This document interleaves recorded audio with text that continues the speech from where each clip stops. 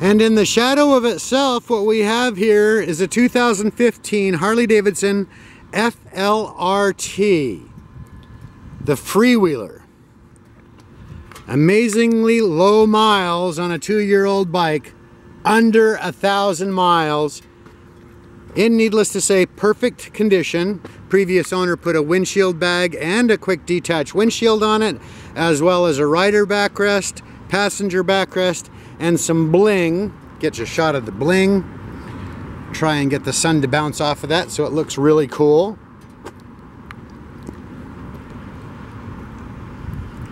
Then on the trunk lid, if you will, added some rhinestones. And on the very back, try and get this to show the best we can.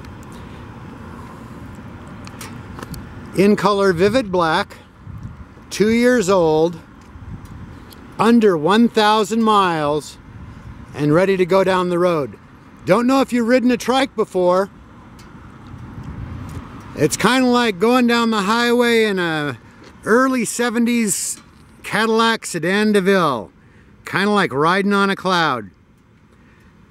Come on out to Biggs Harley Davidson and check out this beautiful three, excuse me, freewheeler today.